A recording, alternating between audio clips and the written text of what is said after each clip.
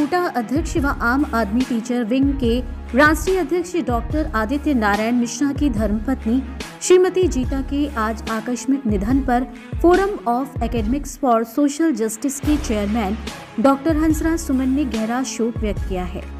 Doctor Suman ने बताया कि डॉक्टर जीता पिछले तीन दशक से दिल्ली विश्वविद्यालय के वेंकटेश्वर कॉलेज के राजनीति विज्ञान विभाग में एसोसिएट प्रोफेसर थी।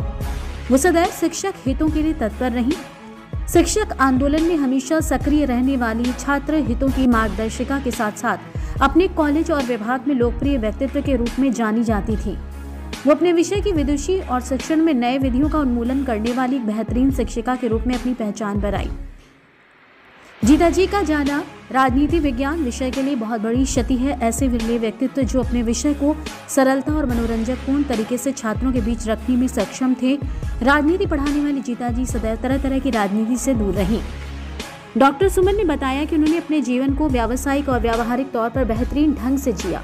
वैचारिक मतभेद होने पर भी उन्होंने किसी से मनभेद नहीं रखा। ऐसी सरल, सौम्य और सहज व्यक्तित्व विरले ही फिर से जन्म लेते हैं। उन्होंने उनके प्रति भावभीनी श्रद्धांजलि अर्पित करते हुए परमात्मा शोकाकुल परिवार को इस शोक से उभरने की हिम्मत दे।